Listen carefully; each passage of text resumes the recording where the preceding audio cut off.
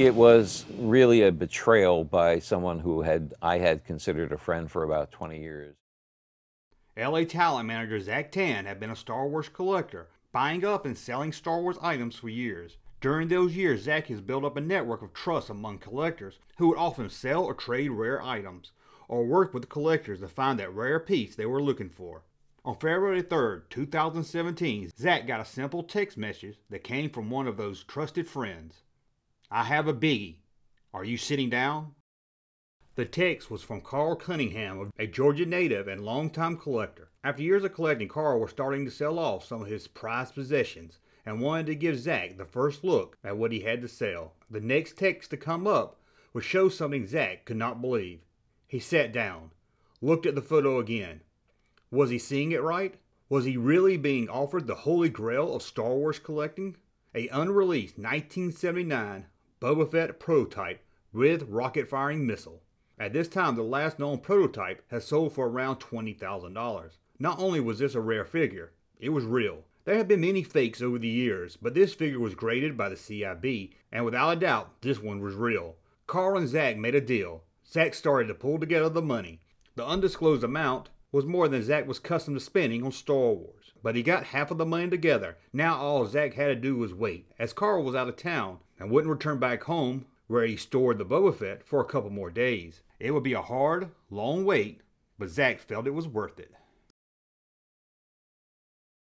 Philip Wise, the founder of one of the most popular websites for Star Wars collectors called Rebel Scum. The name was taken from a small but very memorable line from Return of the Jedi.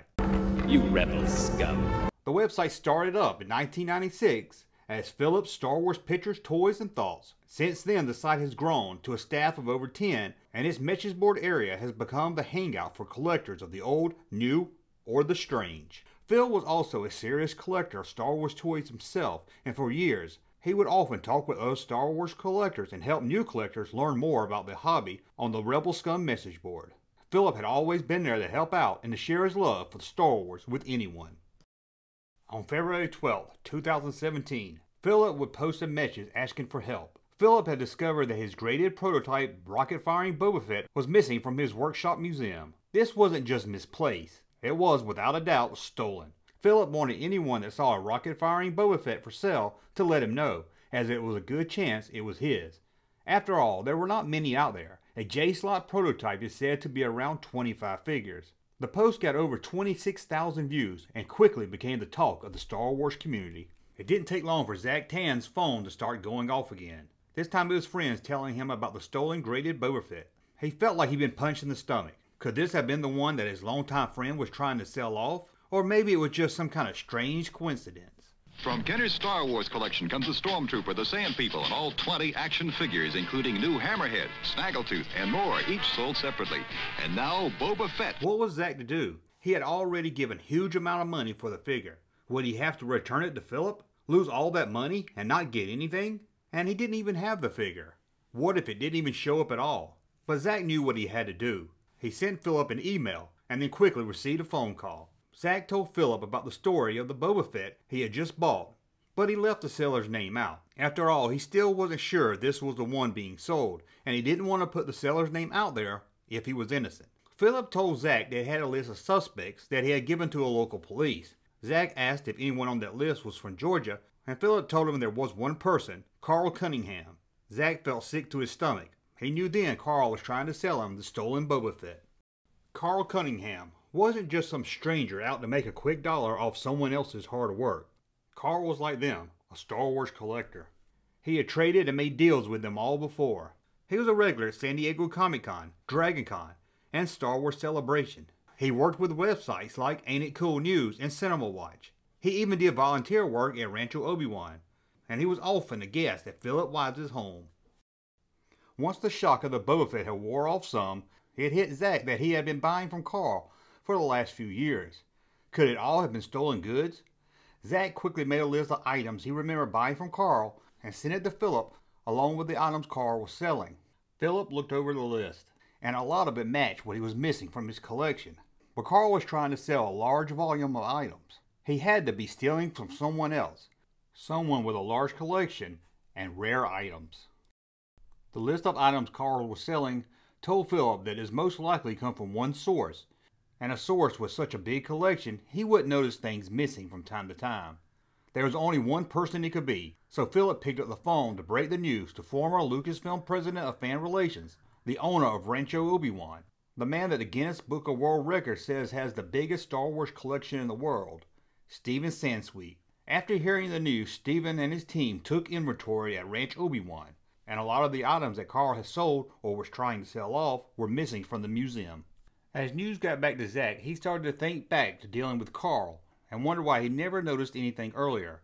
Carl was selling items lower than the asking price and tell him that was all he had to sell, but then would call him back a few weeks later with more rare items to sell.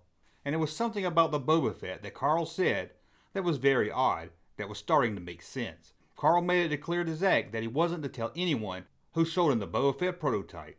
He said other friends would be angry that he didn't offer it to them first, but now Zack could see the real reason. Although he had already spent a lot of money on the Boba Fett, Zack knew what he had to do. He would meet with Carl, get the Boba Fett, and return it back to Philip while doing a little detective work. On February 15, 2013, four days after Philip posted about his stolen Boba Fett, Carl sent Zack a text. Carl said there had been some complications, and he was now nervous about selling the prototype Boba Fett, and again telling Zack to keep the sale between them. He said that with Philip posting about his stolen Boba Fett, he was worried that people would try to think he was selling the one that was taken from Philip. Carl admitted that he did know Philip and that the Boba Fett did come from him, but it wasn't the one posted that was stolen. According to Carl, Philip had two rocket firing Boba Fett figures, and he sold one to Carl, with a promise that Carl would sell it back to him if he ever sold it. So Zack told Carl he wanted to pull out of the deal and that he should call Philip and sell it to him as promised. The two talked a little longer, and Carl told him that he was shocked that Philip's Boba Fett could have been stolen, that it was locked behind glass and watched by video surveillance. To Zack, Carl knowing that the figure was locked away and had a camera on it, removed any doubt he had, which was very little at the time, that Carl was the one that stole the Boba Fett. Zack received part of his money back, and Philip called Carl, telling him that he and others knew that Carl took the Boba Fett. In that phone call, Carl admitted what he had done and returned to Philip the Boba Fett, and then reached out to Steven Sansweet and confessed that he was the one that took the items from Rancho Obi-Wan when he was there doing volunteer work three times. Welcome to the expansion. Steven Sansweet was angry and felt betrayed. After all, Carl was what Steven thought was a trusted friend that shared the same passion of Star Wars merchandise as he did. Steven contacted the local police who issued a warrant for Carl's arrest. Well, it, was really a betrayal by someone who had I had considered a friend for about 20 years, and so he knew the way we worked, and we gave him, as we have given other people in the past, but unfortunately no longer, free reign of the museum. And um, over the course of a year, at four different occasions, he stole about $200,000 worth of retail value uh, items. On March 24, 2017, Carl surrendered to the police and was charged with felony grand theft.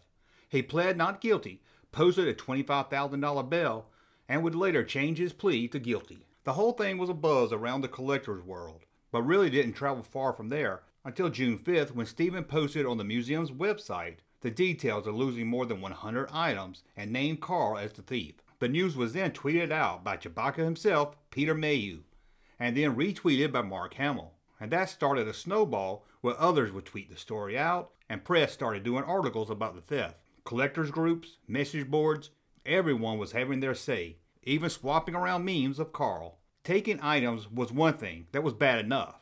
But many was shocked that he thought he could get away with taking something so rare like the rocket firing Boba Fett from a well known collector and then trying to sell it off to other well known collectors. And then the fans started taking things a little too far, sending Carl and his family death threats, calling the place where Carl worked until they got him fired. Some fans even tracked down his young children and sent them harassing messages. It was one thing for someone to steal your beloved items, but for it to turn out to be a fellow collector and a friend you had for years made it so much worse. Even to those that wasn't one of his victims, they felt betrayed and hurt. I just want to make up for it. I have no excuses. Everything I did was my fault. Carl said to the judge on November the 30th, 2017. He had arrived to the court to be sentenced Alone. No friends. No family. Just Carl. Carl stole from me under the cover of friendship. Stephen Sansweet was said at the hearing, adding, In my 72 years, in my private and professional life, I had never felt such a sense of betrayal. Carl was sentenced to 12 months and two years probation, and he was also ordered to pay Stephen over $185,000 and pay back the rest of the money they owed to Zach. However, he would never spend time behind bars. Two weeks before he was to serve his time, he was placed into the Detention Alternative Program, a program for nonviolent offenders who had expressed remorse. He had to wear an anklet monitor and moved to California. While under house arrest, Carl started to work with a therapist over Skype and joined a sport group. Everyone that knew Carl all had very positive things to say about him. That was before the theft, when he was like them, a fan. Carl was cited a loss of a job, too much pride when he was needing help, as for some of the reasons for taking the items. He also acknowledged that that was an excuse for what he did. He said that he felt Star Wars and collecting over the years had took over his life, that it became more than just a hobby. After this event, Carl has put Star Wars, the toys, and collecting behind him and has tried to start over with a new life, knowing he could never heal the wounds he had caused Zach, Philip, Stephen, and the community. The collector community also moved on and life got back to normal, but with every collector now having their guard up a little more, even around their friends. Stephen Sansweet had to issue a new rule for the Rancho Obi-Wan staff. No one would be left alone in the museum or warehouse ever again. Collecting is a great hobby and can bring joy into your life that never would have come without it, and even bring you friends you never would have met. It also can bring trusted friends to betray you for selfish gain. And then we've gotten about seven items back from the dealer who bought many of these items directly from the thief and who has admitted to the thefts in emails and texts to me. And um, uh, we've gotten, you know, 5% of the, of the stolen items back, a little less maybe, and we're hoping to get a lot more. Junk Man. Thank you, sir, for that unsolicited testimony.